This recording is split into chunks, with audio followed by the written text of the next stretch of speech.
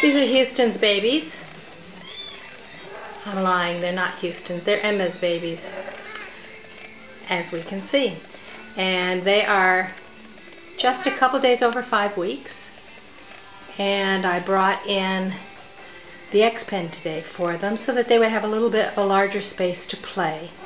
Keeps them safe so that they don't get um, behind something where they shouldn't be and don't something doesn't fall on them and another cat or kitten doesn't uh, decide to beat them up. So a little playpen for them and it keeps them nice and safe. And this gives them about a 4x4 section to uh, to play in. So that's that's pretty good for them at, at this age.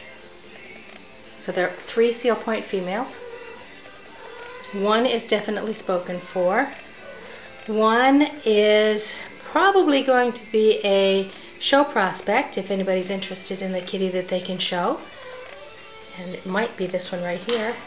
And the, the third one is also show marked, but she's a little bit smaller. So at the moment, um, we're not just sure what's gonna what's gonna become of her.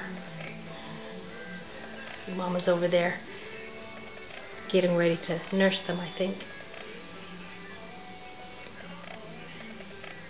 And Mama's checking out the new digs as well because we just got it set up a few minutes ago.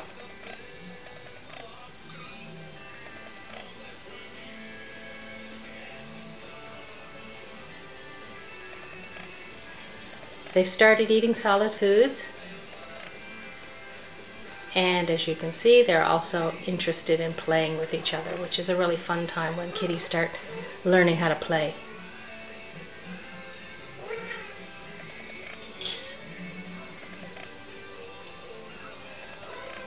And this is just, this is simply a dog X pen, something you'd use for a, a collie. Um, actually, it was purchased for a collie, and uh, I just put a top on it as you see, because unlike puppies, kitties will definitely climb out. And even at this tender age, it would not take them very long to figure out how to get out of here.